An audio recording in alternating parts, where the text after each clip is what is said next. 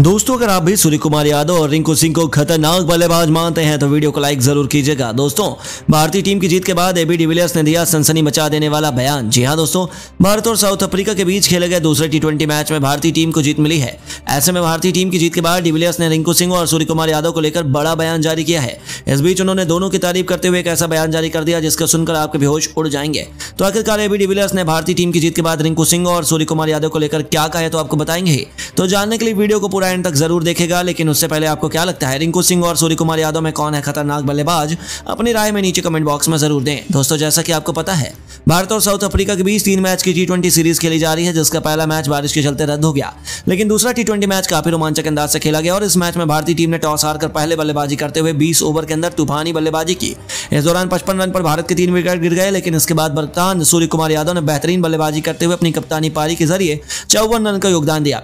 और दूसरी तरफ़ से बेहतरीन बल्लेबाजी कर रहे रिंकू सिंह ने भी कप्तान का साथ निभाया और अपना अर्धशतक लगाकर टीम को मजबूती दिला दी। भारत को 200 रन के करीब ले जाने का काम किया तो ऐसे भारतीय टीम को मिली जीत के बाद एबी डिविलियर्स का बड़ा बयान सामने आया है। जिसमें एबी डिविलियर्स ने बयान देते हुए कहा कि भारत और साउथ अफ्रीका के बीच खेले गए दूसरे टी मैच में भारतीय टीम को जीत मिली है। इस मैच में भारतीय टीम की जीत की असली वजह कोई नहीं, बल्कि रिंकू सिंह और सूर्य कुमार यादव हैं, क्योंकि दोनों बल्लेबाजों ने जिस प्रकार से तूफानी बल्लेबाजी करते हुए भारतीय टीम को बल्लेबाजी में मजबूती दिलाई थी, उसी के चलते भारतीय टीम को काफ़ी ज़्यादा फ़ायदा मिला है और भारतीय टीम की तरफ़ से दोनों बल्लेबाजों ने दिखाया है कि इन दोनों बल्लेबाजों के पास किस तरीके की काबिलियत है। दोनों बल्लेबाजों ने अपनी तूफानी बल्लेबाजी से भारतीय टीम की लड़खड़ाती हुई पारी को संभाल लिया और साथ में बेहतरीन बल्लेबाजी करते हुए टीम को मज़बूत स्थिति में ले जाने का काम किया है। इस मैच में अगर रिंकू सिंह सूर्य कुमार यादव बेहतरीन बल्लेबाजी नहीं करते तो शायद गेंदबाजों को फ़ायदा नहीं मिलता और गेंदबाज बेहतर गेंदबाजी करते हुए भारत को जीत दिलाने में मदद नहीं करते। इसके अलावा उन्होंने आगे बयान देते हुए कहा, भारतीय टीम की तरफ़ से कप्तान सूर्य कुमार यादव के ऊपर कप्तानी की ज़िम्मेदारी थी और वह टी के नंबर वन बल्लेबाज है। ऐसे में उनके ऊपर अतिरिक्त ज़िम्मेदारी भारत के लिए बेहतर प्रदर्शन करने की थी, जो उन्होंने करके दिखाई है। उन्होंने अपने अर्धशतक के दम पर दिखा दिया कि वह भारतीय टीम के बड़े सुपरस्टार बल्लेबाज हैं। सूर्य कुमार यादव ने हर मैच की तरह इस मैच को भी अपने नाम, टीम को आगे ले जाने का काम किया। हालाँकि इनका साथ अगर सिंकू सिंह नहीं देते तो भारतीय टीम को जीत का दिक्कत का सामना करना पड़ता, क्योंकि रिंकू सिंह ने भारतीय टीम के लिए उस समय पर प्रदर्शन किया जब उनकी आवश्यकता टीम को रही है। और यही एक बड़े खिलाड़ी की पहचान होती है। रिंकू सिंह ने बेहतरीन बल्लेबाजी करते हुए टीम को खराब स्थिति में बेहतर ले जाने का काम किया, और समय आने पर तूफानी बल्लेबाजी की। तो ऐसे में मेरे लिए दोनों खिलाड़ी जीत के हीरो साबित हुए हैं। दोस्तों, अगर आप भी सूर्य कुमार यादव और रिंकू सिंह को खतरनाक बल्लेबाज मानते हैं तो वीडियो को लाइक ज़रूर कीजिएगा। दोस्तों, कप्तान सूर्य कुमार यादव और तिलक वर्मा की आंधी में उदास अफ्रीका का खेमा। जी हाँ दोस्तों, भारत और साउथ अफ्रीका के बीच खेले गए दूसरे टी मैच में भारत की खराब शुरुआत के बाद कप्तान सूर्य कुमार यादव और तिलक वर्मा ने बाकी बल्लेबाजों के साथ मिलकर मैदान पर रनों की ऐसी बारिश की, जिसके सामने साउथ अफ्रीका के गेंदबाज सिर पकड़कर रोने के लिए मजबूर हो गए। तो आखिरकार कैसे कप्तान सूर्य कुमार यादव और तिलक वर्मा ने बाकी बल्लेबाजों के साथ मिलकर मैदान पर कोहराम मचाया है? तो आपको बताएँगे ही। साथ में इस रोमांचक मैच की रोंगटे खड़े कर देने वाली हाईलाइट की वीडियो भी हम आपको दिखाने वाले हैं तो जानने के लिए वीडियो को पूरा एंड तक ज़रूर देखेगा लेकिन उससे पहले आपको क्या लगता है? सूर्य कुमार यादव, तिलक वर्मा और सिंह में कौन है? भारतीय टीम का सबसे खतरनाक युवा बल्लेबाज अपनी राय में नीचे कमेंट बॉक्स में ज़रूर दें। दोस्तों, भारत और साउथ अफ्रीका के बीच तीन मैच की टी सीरीज़ खेली जा रही है, जिसमें पहला टी मैच बारिश के चलते रद्द हो गया। वहीं दूसरे टी मैच में आज बेकरा के St George Park cricket stadium पर खेला गया, जहाँ पर इस मैच में साउथ अफ्रीका के कप्तान एडम मार्कम ने टॉस जीतकर पहले गेंदबाजी करने का फैसला किया और बल्लेबाजी करने के लिए भारतीय टीम को आमंत्रित किया, जहाँ भारतीय टीम पाँच बदलाव के साथ मैदान पर आई और इस दौरान ऋतुराज गायकवाड़, श्रेय अय्यर अक्षर पटेल, रवि बिश्नोई और दीपक चहर की जगह पर शुभमन गिल, तिलक वर्मा रविंद्र जडेजा, कुलदीप यादव और मोहम्मद सिराज को शामिल किया गया।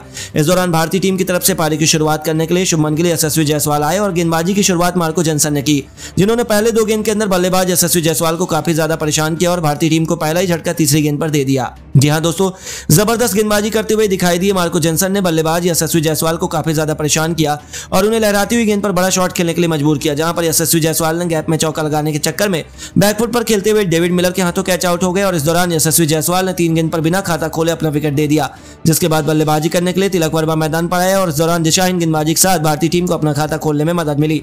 लेकिन इसके बाद अगली गेंद पर तिलक वर्मा को बड़ा जीवनदार मिल गया। जी हाँ दोस्तों, तिलक वर्मा बिल्कुल यशस्वी जयसवाल की तरह बैकफुट पर खेलने के कारण डेविड मिलर के हाथों कैच आउट होने वाले थे।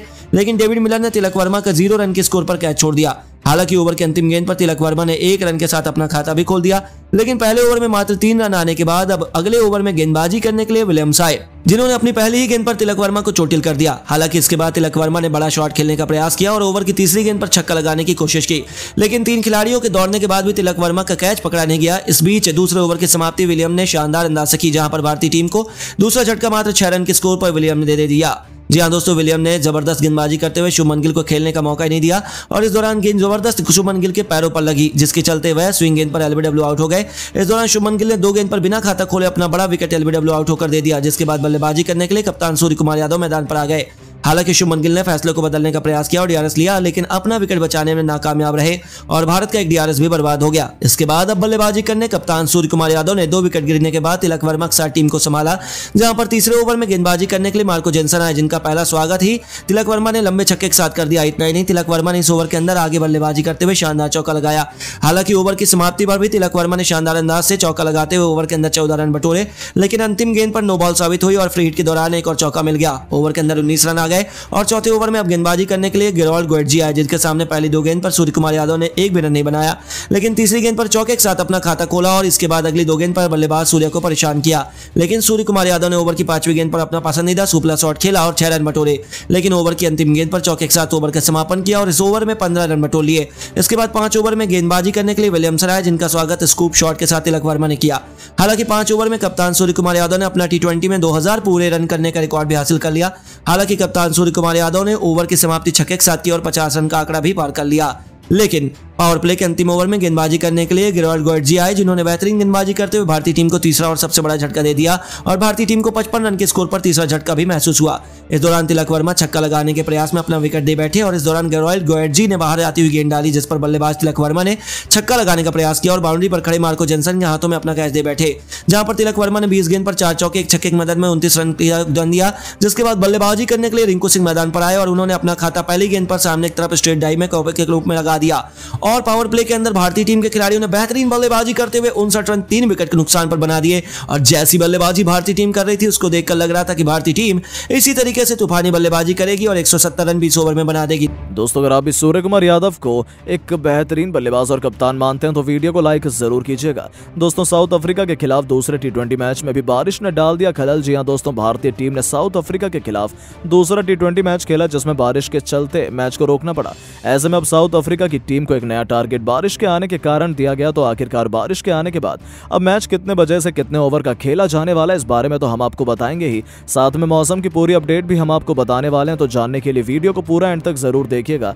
लेकिन उससे पहले आपको क्या लगता है? रिंकू सिंह और सूर्य कुमार यादव में से कौन है भारतीय टीम का इस समय का सबसे खतरनाक बल्लेबाज? अपनी राय नीचे कमेंट बॉक्स में ज़रूर दें। दोस्तों, जैसा कि आपको पता है, भारत और साउथ अफ्रीका के बीच तीन मैच की टी सीरीज़ खेली जा रही है, जिसका पहला टी मैच बारिश के कारण रद्द हो गया। तो वहीं दूसरा टी मैच आज खेला गया। इस मैच में भारतीय टीम ने टॉस हारकर पहले बल्लेबाजी करते हुए उन्नीस ओवर के अंदर बारिश के कारण 180 रन सात विकेट के नुकसान पर बना दिए।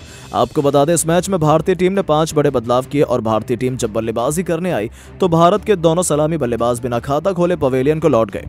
लेकिन इसके बाद कप्तान सूर्य कुमार यादव ने बेहतरीन बल्लेबाजी करते हुए छप्पन रन का योगदान दिया तो रिंकू सिंह ने नाबाद अड़सठ रन की पारी खेली। इसके अलावा तिलक वर्मा ने उनतीस और जडेजा ने उन्नीस रन का योगदान दिया। इस बीच साउथ अफ्रीका की टीम की तरफ़ से गेराल्ड गोएटजी ने सबसे ज़्यादा तीन विकेट लिए।